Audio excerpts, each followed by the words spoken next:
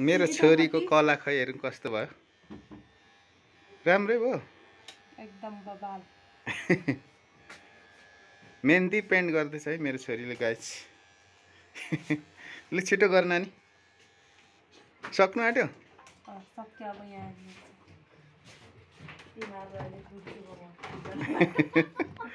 अब final result चाहिँ पाटुमा आउँछ है। पाटो हुँदैन यसको। अब।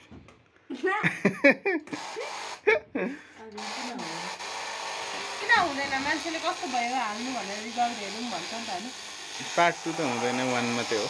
सकिजान्छ वानमै इन्डियन पछाडि चाहिँ नलगाइ